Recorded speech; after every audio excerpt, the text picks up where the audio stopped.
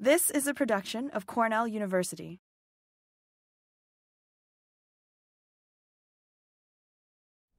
Okay, good morning, everybody, and thank you for taking the time to come to, to this talk. It's my pleasure to tell you some of the work we're, we have been doing for the past probably 10, 20 years already uh, in regards of understanding what's the function structure and how uh, is the regulation of a particular set of membrane transport proteins that mediate uh, response, response to tolerance uh, of a particular set of abiotic stress.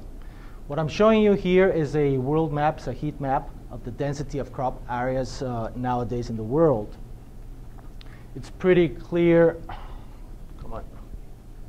Okay, when you look at, at, the, at the soils, the suitability of soils, it's pretty clear that there's a nice correlation where there's a high density of agriculture taking place with the quality of the soils around the world. So it's no big surprise. We basically do agriculture where the soils are good. However, when you take into account that by 2050, our population is increasing by about 25%, and just in about 20 years or so, we need to increase uh, our production by 40%. It's obvious that we have to start thinking about moving into these marginal soils and start increasing the productivity that is currently taking place in these sort of mar marginal soils where the soils are not suitable for agriculture. So these marginal soils are a result of uh, several abiotic stresses, including drought, salinity, and uh, also aluminum toxicity. And to tell you why aluminum toxicity is such an important abiotic stress, I'll first overlap a heat map uh, describing the pH of the soils around the world. Acidic pHs are shown in red. Mm, so in terms of the total area of the world, about 30% of the total uh, soils in the world are acidic, and that constitutes about 70% of the potentially arable lands uh, around the world, which includes the, so the southern tropical band, which takes into account uh, particular regions where food, uh, food supply and, and food uh, stability is, is more tenuous at the moment. So why is aluminum toxicity occurring in this, in this kind of acidic soils? Aluminum is pretty harmless at neutral and, and uh, basic pHs because it's bound to, to the oxides in the silica in the soil. However, when you start hitting uh, low pHs, acidic pHs, aluminum solubilizes into the solution. And as the pH becomes more acidic, what happens is the predominant form that you'll find of aluminum in the solution in the rhizosphere is Al3 plus, and it's this particular form of aluminum which is actually phytotoxic to plants. So, oh, I have that. So, how toxic is it really? Let me just show you a couple of examples. These are two maize varieties grown in the southern part of Brazil in acidic soils. As you can see, there's an aluminum-resistant variety and aluminum-sensitive. The sensitive variety actually has a significant uh, loss of yield. Likewise, this is uh, two contrasting varieties from wheat. The aluminum-sensitive variety, what you can see, is a really dramatic inhibition or loss of the root growth. And that's the primary, that's the primary symptom of aluminum toxicity. Aluminum, as soon as you expose the roots to aluminum, the root growth ceases. What that results in is a, a loss of water uptake, loss of uh, mineral uptake, and ultimately what, what it translates into is this loss of yields. So this is just a micrograph showing you the degree of injury that roots actually experience upon exposure to aluminum. These are the same wheat varieties I'm showing you right here. So fortunately, there is a, a genetic variation in crop plant species which we can exploit to understand what are the physiological mechanisms that underlie this this aluminum resistance process. And for most crops, what has been found, and was early described back in the early 90s, is that those aluminum resistant varieties, actually upon exposure to aluminum, the roots release, release organic acids into the rhizosphere. What these organic acids do is they complex the aluminum, they chelate it, and they form complexes that A, are not toxic, and B, are not taken up by the roots. That way, they're excluding aluminum from coming into the root system and uh, have its uh, phytotoxic events. So as I said, this was originally described in wheat. Subsequently, we describe it in maize. but has uh, nowadays being uh, reported as a very highly conserved mechanism throughout a whole variety of crop species.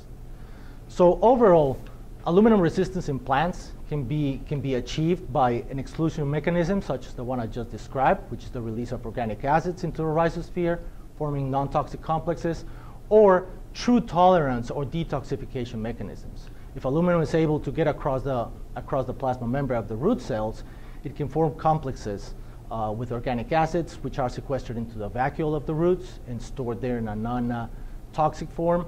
Or in some cases, it, it, can actually be loaded into a xylem, translocated into, into, the, into the shoots where it's sequestered in. And this is the case of uh, plants which are aluminum hyperaccumulators, such as the case of, um, of tea crops. So for the purpose of this talk, all I'm focusing on is what I'm going to talk about is uh, aluminum exclusion mechanisms. And particularly, I'm going to talk about these two transporters or the nature of these transporters here.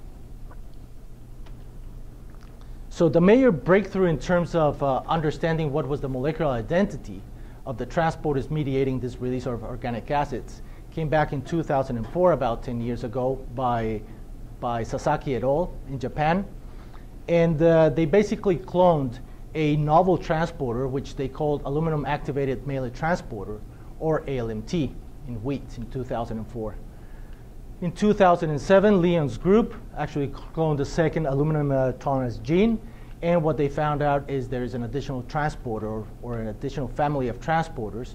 They cloned it for sorghum, and it's a family of transporters from the multi-drug toxic compound extrusion family, or MATES. These two transporters are very different in terms of uh, their secondary structure, their structure, and the way they function. These are predominantly anion channel type of transporters, while these are sort of antiporters. So in terms of uh, signal transduction, it's a very complex uh, network of signal transduction cascades, which basically the aluminum um, stress is sensed, and there's a whole a bunch of transcriptional regulation going on, which ultimately affects the expression of these two, two transporters, the LMTs and the mates. However, what I'm interested in talking about today is how are these transporters actually post-translated regulated. In other words, I'm not interested in, in, finding out what's, what's the gene uh, at, the at the gene level, what is the transcriptional regulation of these transporters, but the protein itself, how does it work? How does it mediate the release of organic acid and can the protein actually respond by itself to the presence of extracellular aluminum. So I'm going to focus today on the ALMTs, and I'll leave the, the, the mate story for another opportunity.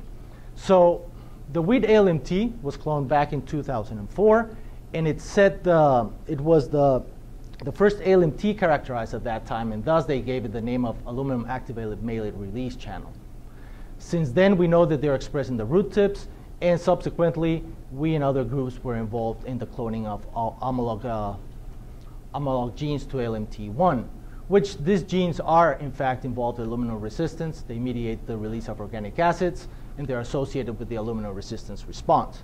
However, nowadays we know that the LMT family is not just uh, anion channels uh, involved in aluminum resistance, but they're involved in other physiological processes. There are LMTs that are expressed in guard cells, so they're involved in, in the regulation of guard cells. There are other LMTs that are, that are expressed in roots, and they are involved in, the, in mineral nutrition and, and general uptake.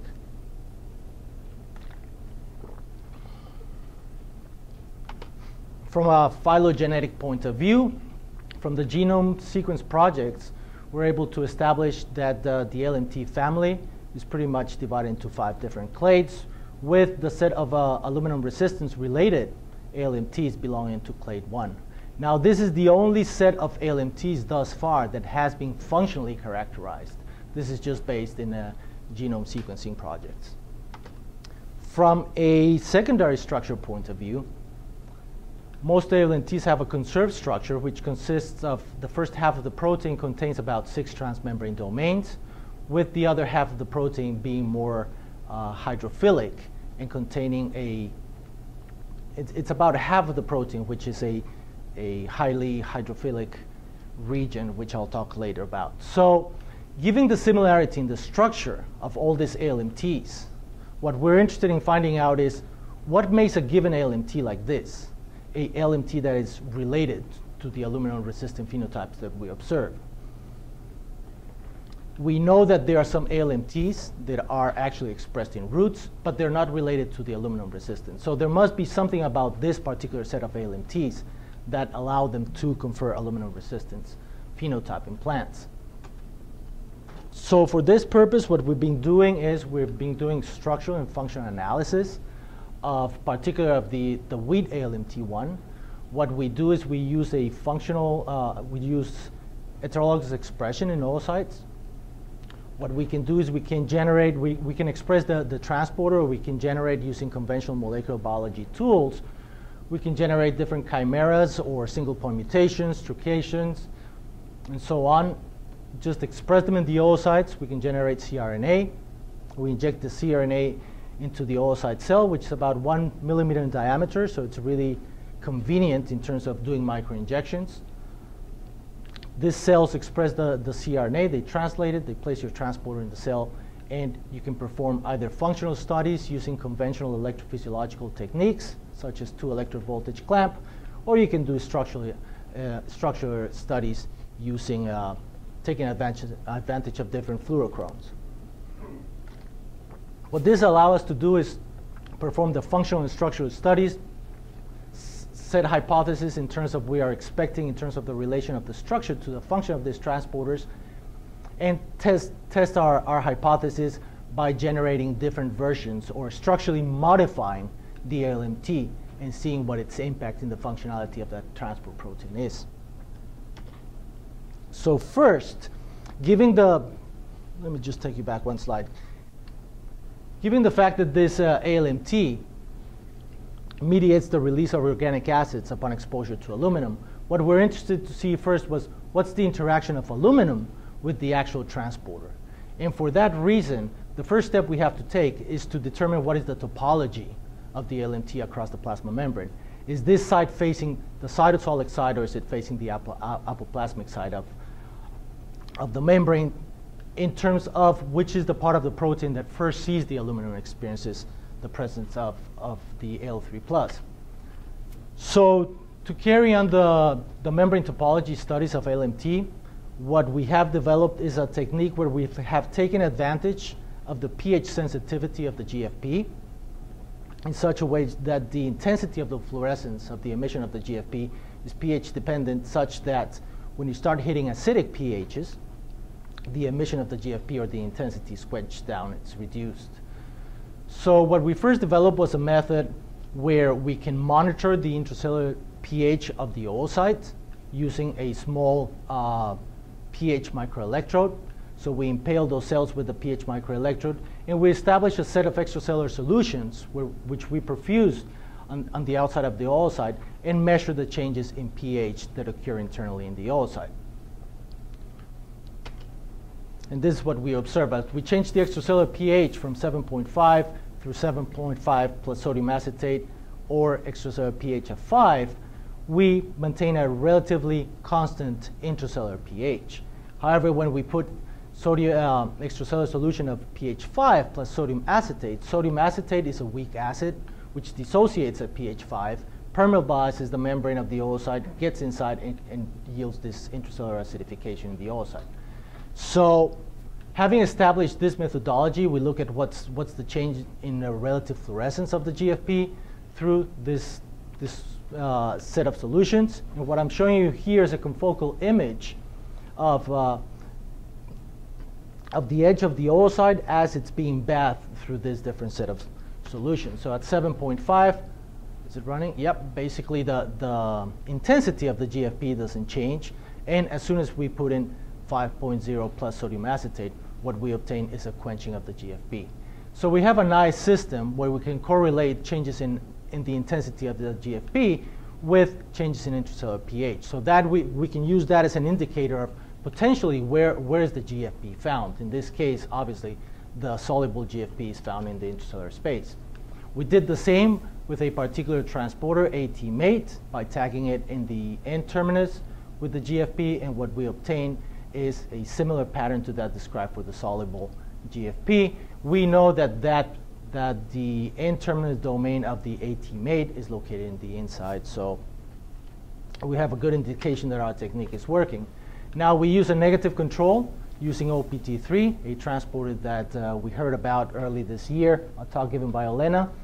And uh, we tagged it at the C terminus. We know that the, thank you. We know that the C terminus of, of that transporter is, is located to the outside. And just as you would expect, when you bath it through the different set of conditions we have, there's no change in the first two solutions, but as soon as there's pH 5 in the extracellular space, we quench the GFP. So we have a nice system to show, to basically use the GFP as an indicator of is that particular N terminus or C terminus located to the intracellular space or the apoplasmic phase of the transporter. Using this approach, we took our gene of interest, the wheat LMT1. We first tag it in the, C, in the N terminus, and what we obtain is pretty much the similar behavior to what we obtain for the soluble GFP, indicating that this particular GFP here is, is facing or is located in the intracellular space of the cell. We've taken the same approach with transporters tagged at the C terminus. We know that the C terminus is actually located into the inside of the cell. We know that the end of the transmembrane domain 6 is also located to, to the inside of the cell. And there was some controversy about the potential existence of additional transmembrane domains around this region. What we've done is we've taken the GFP and we've flanked those different transmembrane domains, and we found that uh, the GFP is located towards the inside, indicating that there's no transmembrane domain region there, even though it might be a, a, highly hydrophobic region, it might be involved in the anchoring of the protein rather than actually constituting a domain which transverses the, the lipid bilayer.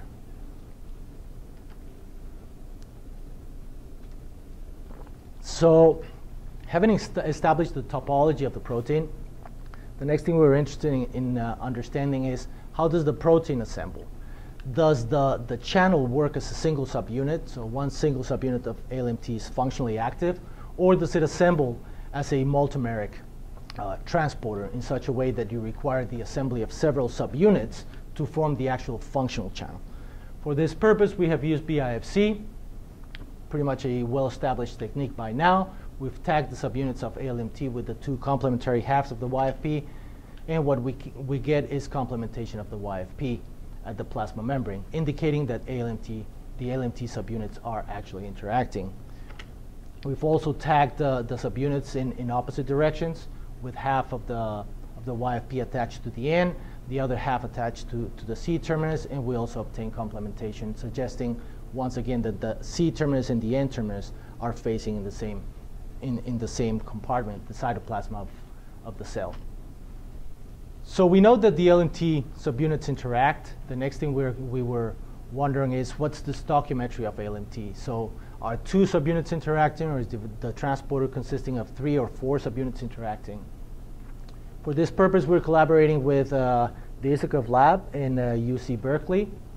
And uh, what they use is they use uh, TIRF microscopy to, to address this particular question. So the first step we had to do was prove that their technique actually is suitable for studying uh, plant membrane transporters, not just, just suitable for studying animal channel transporters. So what we did is we tagged uh, KAT1 with a GFP. KAT1 is a potassium channel from Arabidopsis, and there's, there's good knowledge about the structure and the assembly of, of this type of potassium channels.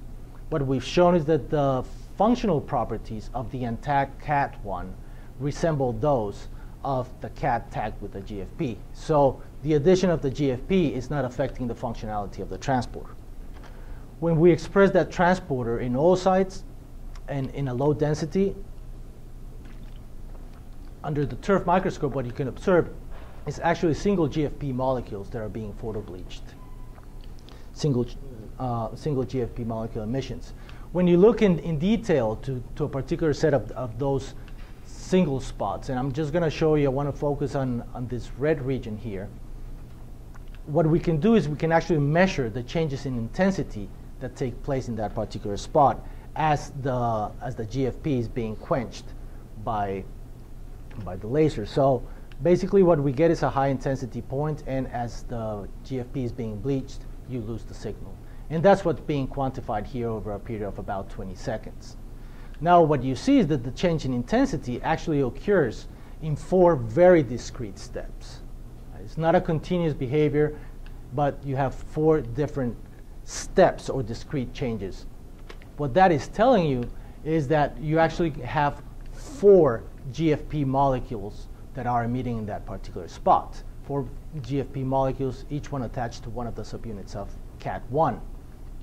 In other words, what that's telling is in every single spot that you look at, what you're finding is KAT1 assembled as a tetramer consisting of, of the four subunits. And this is what actually forms the functional transporter of KAT1, four subunits assembled in such a way that this, this region in the middle actually consists of the permeation pathway or the pore of the transporter. So knowing that we can actually use this technique for, for plant cells, what we did is we implemented it for the ALMT1 and other ALMTs, and what we obtained is that the transporters actually assemble as a dimer. so this is the functional state of the transporter. We've done this for not only the wheat ALMT, we know that it, um, that also happens for the Arabidopsis, for the maize ALMT. So apparently the dimer state is conserved throughout the entire ALMT family. So what I've shown you so far is those structural studies that we've done uh, basically just coming out from a secondary structure, we're able to know more or less the topology of the LMT across the membrane, which part faces the cytoplasm, which part faces the extracellular side. We know that it assembles as a dimer. Now what we're interested in, in finding out are uh, what, are, what are the functional properties of this LMT and how do those functional properties correlate with the structure or the secondary structure prediction. So for that purpose, once again, what we're doing is we're expressing our protein of interest in the oocytes. We're able to load the oocytes with the substrate, in this case malate. We microinject the cells with malate a couple of hours prior to doing the electrophysiological recordings. And we use two electrode voltage clamp to study the activity of that transporter expressed across the plasma membrane. To, to put it in simple terms, what we do is the cell is so big, it's one millimeter in diameter, we're able to impale two microelectrodes on it. With one microelectrode, we are able to impose a voltage across the plasma membrane of the cell. With the other microelectrode, what we're able to do is we're able to record the currents that are elicited or that happen at that particular holding potential. Those currents are simply the movement of, of ions across the plasma membrane. A current is just the transport, the transport of ions across the plasma membrane. So let me show you what happens in uh, control cells. By control cells, I mean cells that have not been injected with the RNA, so that are not expressing the transporter, versus what happens with cells that have been injected with the ALMT transporter. So here I'm showing you a holding potential of minus 100 millivolts. This is the magnitude of the current. Again, it's simply a, it, it just relates to the amount of transport that's taking place. Control cells so show a very small current, very basal endogenous transport taking place across the plasma membrane. And LMTs, in the absence of aluminum, mediate a slightly larger transport in those cells. However, what's really important is that upon just adding aluminum to the bath, so basically you replace the bath medium for the same solution, but now it includes uh, about 20 micromolar aluminum chloride, what you get is a very relatively quick, it happens within a couple of minutes, a very quick enhancement of the transport activity mediated by aluminum, by, by LMT, sorry. So here, basically we have a transporter that is not at the regulatory, it's not at the transcription level, but actually just happens within minutes. So basically the transporter somehow is sensing the presence of aluminum. The fact that aluminum interacts with the transporter changes, it uh, changes the conformational state, and it surrenders the transporter in a more active state. So this is another way of, of uh, looking at the transport activity of ALMTs. So rather than holding, holding the, the membrane potential for a long period of time, what we can do is we can just uh, look at the transport activity over a small period of time of about 600 milliseconds, at a given voltage, say minus 100 milli, uh, 100, minus 140 millivolts. We measure the magnitude of the transport at that particular uh, voltage, and then we just keep changing the holding potential to smaller and smaller, less negative holding potentials, and we keep measuring the transport activity at those particular voltages. So once again, these are just traces superimposed or current magnitudes superimposed at different holding potentials. Once again, control cells show a very small transport activity. They still have some transport activity, and it's obvious it's, it's the transport activity from the endogenous transporters of the cell. But when you express ALMT, you, ex you obtain a you obtain a, a, magnitude of transport much higher, which is mediated by this transporter. But most importantly, when you expose them to, to, to aluminum, to extracellular aluminum, what you obtain is, once again, an enhancement of the transport activity mediated by the ALMT1 channel. I'm not going to go into the biophysics of it, but basically we can perform of analysis based on the magnitudes of this current and the different voltages and substrates that we used. Which I, what I, what I want to summarize is that we do know that the ALMT1, one, as I showed you, is enhanced by the presence of extracellular aluminum. Second, it mediates negative currents, which are actually the product of malate moving from the inside of the cell into the outside of the cell. So here we are, we have a transporter that mediates organic acid release, just like you would expect it in, in roots, and most importantly, it responds to the presence of aluminum. So we're interested in finding out what is it that determines that uh, aluminum enhancement property, and this is all I'm going to talk about for the rest of the talk, and it's what are the motifs or what are the parts of the protein that are actually responsible for sensing the aluminum in the extracellular phase. So what we have been doing is we have no structural knowledge of the LMT apart from secondary structure predictions.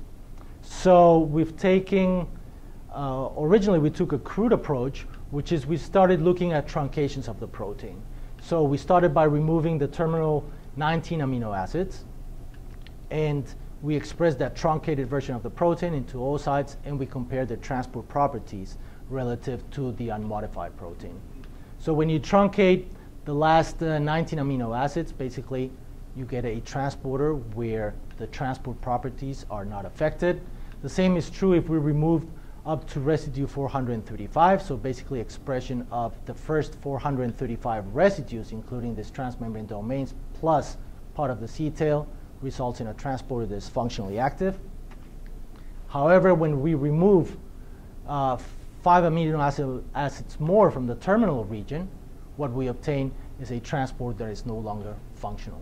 We've lost the activity of the transporter, both the basal activity of the transporter and obviously as well as the enhanceability of the, the enhanceability feature of the transporter. We know that the transporter is being targeted to the plasma membrane, so there's something about the folding that has been lost that surrenders the transporter uh, non-functional. Not surprisingly, when you keep doing more truncations around the C-terminal domain, we obtain transporters that are basically non-functional. What was surprising was upon removal of the entire C-terminal domain, that long hydrophilic tail, what we obtain is a transporter that recovers its functionality. However, just, just the, the N-terminus domain being expressed, being functional, it cannot be enhanced or is not responsive to the presence of extracellular aluminum.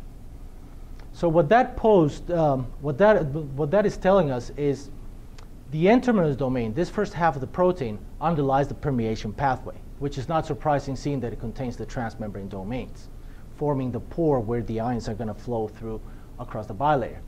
But the question is, is this C-terminal domain, we know that it's not essential for protein functioning, but is it actually a domain that determines the aluminum enhanceability of the protein? So when we express the LMT, we're able to calculate a Km for the aluminum enhanceability of the transporter. Basically, it's concentration dependent. And around 5 micromolar, we're able to get 50% maximum activation or enhancement of the transport activity of the LMT. What that is telling us is that that high affinity what it suggests is basically aluminum being Al3 plus most likely is binding to negatively charged residues in the protein. Thus, sorry? G, uh, we're measuring the, the conductance. So basically we look at the relationship between voltage and current and the slope of, of, of that relationship should tell you what the conductance or the transport rate of the transporter would be. So it's the, basically the conductance we obtain at a given uh, aluminum activity over the, the maximum conductance we're able to obtain. So what that, what that suggests is that Al3 plus is most likely binding to negative residues in the, in the transporter.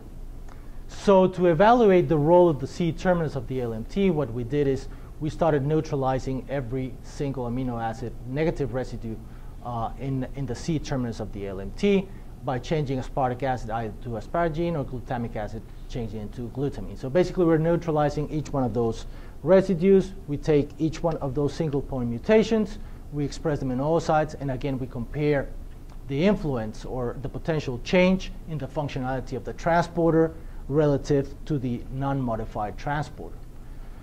The data I'll, I'll be showing you just um, is just in regards to the responsiveness of, of the transporter. Whoopa, how did that happen? Wow. Where are we?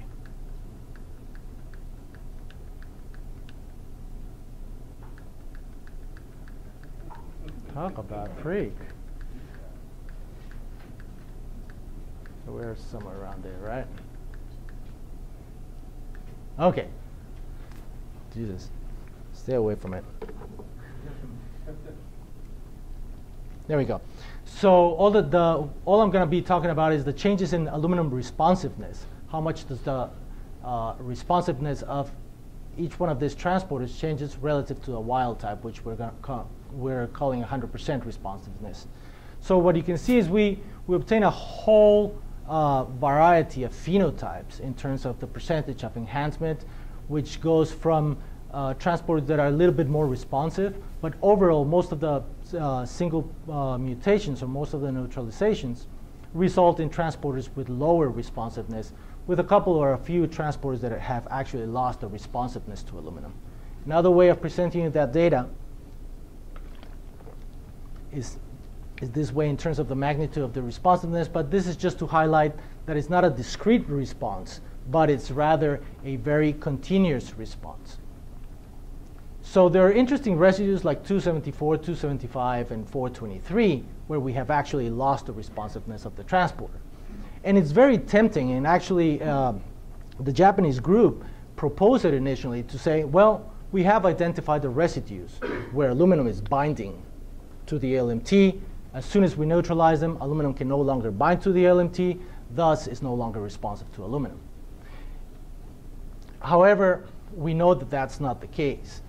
When, when you look at the distribution of those particular residues uh, throughout the entire 400 or so sequences so far known for the, aluminum, uh, for the LMTs, what we see is that residues like 274, 275, or residues like 423 are actually highly conserved or entirely conserved throughout the entire LMT family. So most of this sequence includes LMTs which are not related to the aluminum uh, resistance response. So what we think is happening is among these residues, we have identified residues or we have mutated residues which are highly conserved and they are required actually for uh, they're required for protein stability and proper functioning as a overall ALMT family, and they actually have nothing to do with the aluminum binding to the transporter or with the phenotype of aluminum responsiveness. To prove, to prove this, uh, this hypothesis, what we did is we looked for highly conserved residues throughout the entire family, residues which are not uh, negatively charged, such, such as the tryptophan here, tryptophan 283, and what we've done is we've done a, a single point substitution in that residue as well as a residue 218 or 431. But basically what we show is if you're able to uh, substitute those highly conserved residues, what you end up with is a series of transporters that are no longer as functional as the original ALMT. Therefore, we do believe that these residues, negative residues we identified originally, are more involved in overall protein stability, folding, and functionality rather than they having something to do with the aluminum responsiveness, phenotype. So the next question we wanted to address was, can we move then the entire C-terminus block? Uh, and the entire C-terminus block is the one responsible for the aluminum responsiveness. So we have characterized several ALMTs. This is the one I've been talking about. It's aluminum enhanceable. We know that the homologue in Arabidopsis is also aluminum enhanceable. And the maize uh, ALMT1 is not aluminum enhanceable. So what we've done, done is we've done the, we've swapped the domains. Basically, we take the N-terminus of this transporter and we attach the N-terminus of this transporter. Or we can take the N-terminus of this transporter and attach the C-terminus of this transporter, resulting in this swap domain. And that way, we've generated six different uh, swap domains. We express the cells, uh, we express these constructs in oocytes, and we look at the changes in functionality. So just to summarize all that data in a very colorful way, here I'm showing you once again the LMTs which are responsive and the LMTs which is not responsive. When you take the C-terminal region of the responsive LMTs and you attach, attach them to the N-terminus of a non-responsive LMT, what you obtain is no aluminum enhancement activity. So just the C block moved to a pore of a, of a different transporter is not able to uh, enhance the transport activity of that ALMT. Likewise, if you take the C terminus from, from the non-responsive one and you place it into the N terminus pore region of the two, of uh, the wheat and the Arabidopsis, what you obtain is actually an enhancement of the transport activity, which was quite uh, puzzling as we thought that the N-terminus domain was not involved. Finally, when, when you swap them among the two responsive, responsive ones, what you get is in some instances it's able to recover it, in the other construct it's not able to recover it. What that is telling us that the nature of the n-terminal domain, which we had discarded originally, is actually a determinant of aluminum enhanceability. So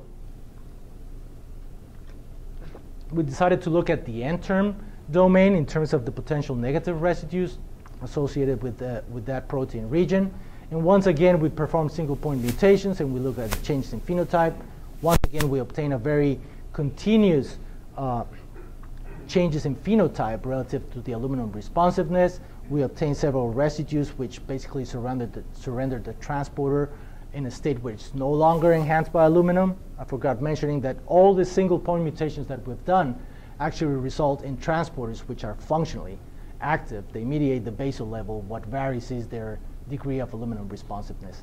However, once again, when you look at this, at the, at the residues, at this particular residues, what we find is they are highly conserved throughout the entire LMT family. So suggesting once again we cannot attribute a role to these residues to the aluminum responsiveness of the protein, but rather we think they're involved in overall functioning and uh, stability of the ALMT family.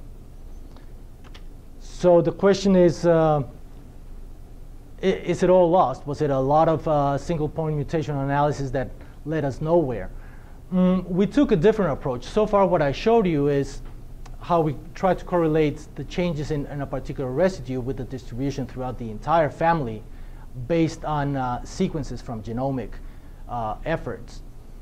Now, what we tried to look, the question we posed was, okay, let's, let's take a look at what, what's happening here in terms of the functionality, but are we able to find any domain on the set of ALMTs that have been functionally characterized?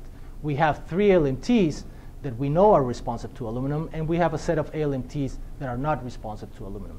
Can we find in sequence alignments any particular domain that might be unique to this set of ALMTs? And the answer is yes. What we ended up finding is a motif right at the beginning of the protein, right at the extreme uh, end of the N term. We found a motif that is associated and is found uniquely in this set of ALMTs which are uh, aluminum responsive. So this is how the motif looks. It's basically a highly conserved region of the first 12 amino acids with a variable region between 2 and uh, up to 35 residues.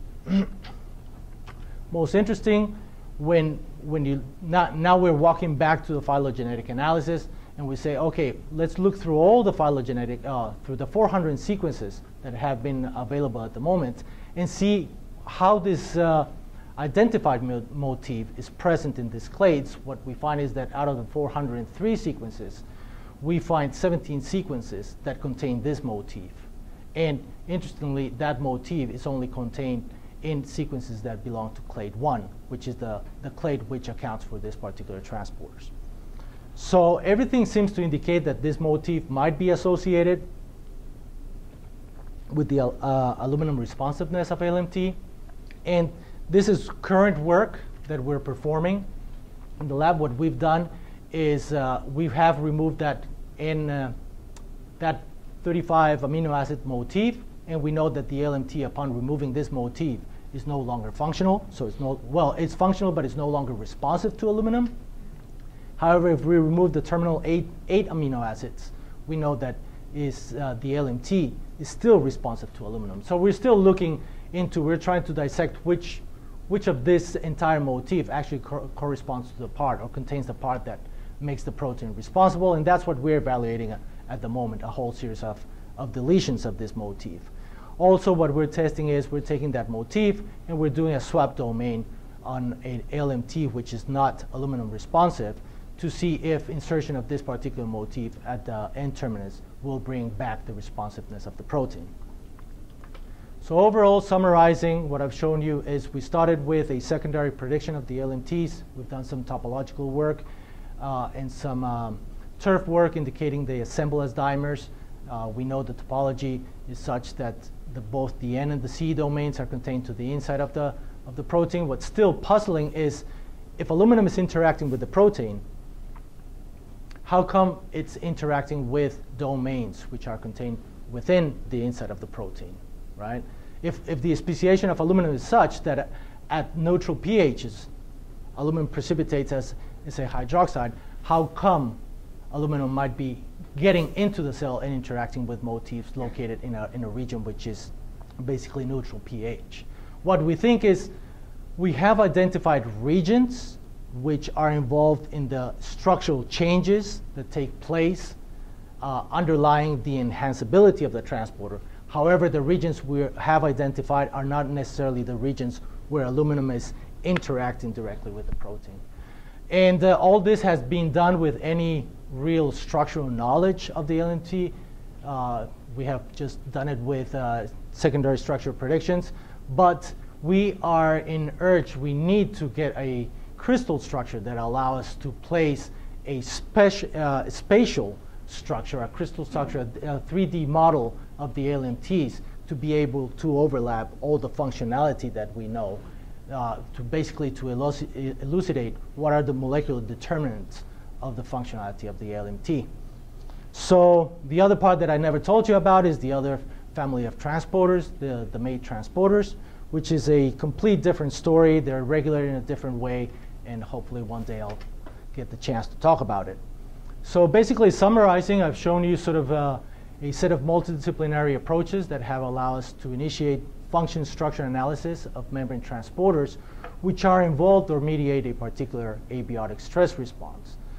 This knowledge will allow us to potentially identify the allele of membrane transporters that are most effective in conferring aluminum resistance in crop plants and in the era of uh, genome editing, it's, it's, it's pretty plausible to propose that we should be able, with the knowledge of, of what are the domains that mediate aluminum enhancement in a particular uh, family of transporters, we should be able to engineer these membrane transporters in order to enhance their ability to confer aluminum tolerance, and thereby expanding their usage in available marginal soils. So finally, I just want to acknowledge a lot of people that have been involved, involved at different parts of this project. First of all, the old timers in the Kochian lab. Thanks for all the help, technical help, and uh, intellectual discussions. Particularly, I want to acknowledge people from, from my group, Allison, Ayalu, and Armand, who have carried part of, part of the work, as well as visiting scholars, international visiting scholars, rotating students from plant biology that have collaborated and added little bits and pieces to the puzzle, as well as uh, undergrads who have rotated during the summer through the Plant Genome Research Project that uh, BTI hosts over the summer. Also, collaborators, Ingo, uh, Ed, they're involved in uh, the phylogenetic analysis. As I mentioned, Ed is involved in the TIRF work. Um, Jeffrey Chang is our right-hand man uh, in regards to, uh, to the structure and crystallization of transporters, and Dave Snyder and Kuda are involved in other work that I haven't presented. So thank you very much. I finally want to acknowledge the funding from what used to be NRI, nowadays is the, is the NIFA grant, and uh, thank you for your time.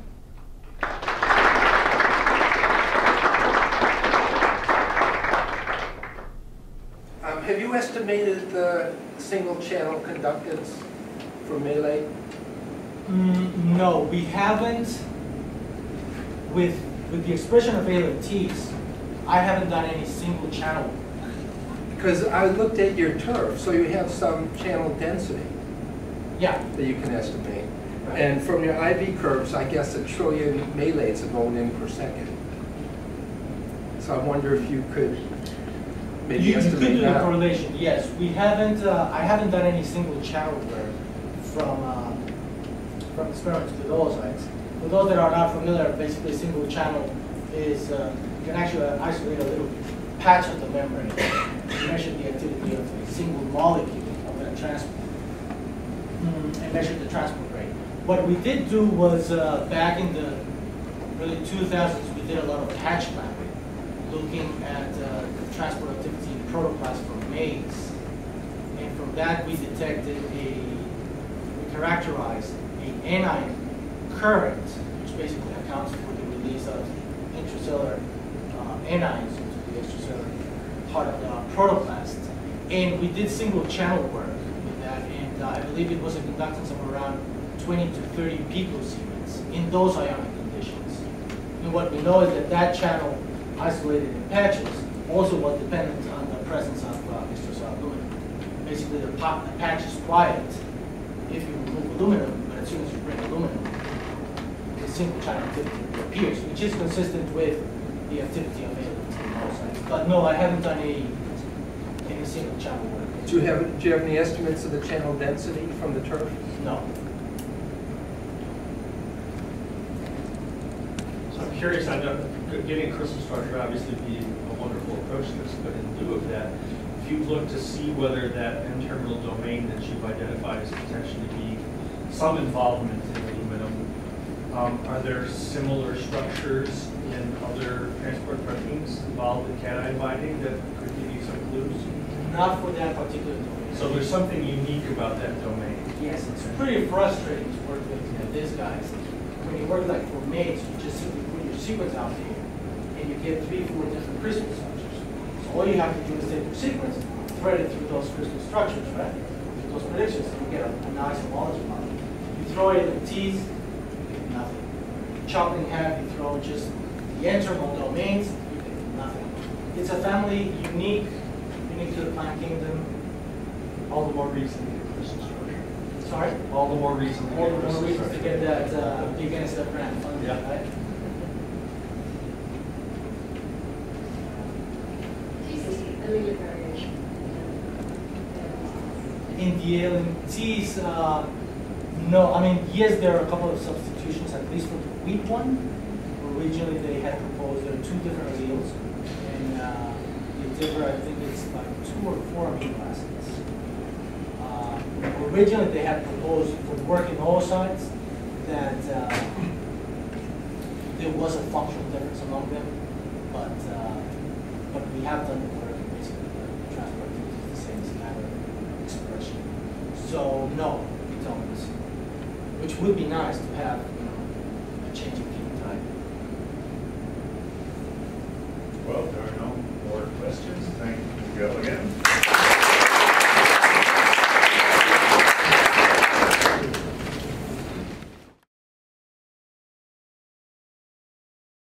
This has been a production of Cornell University. On the web at cornell.edu.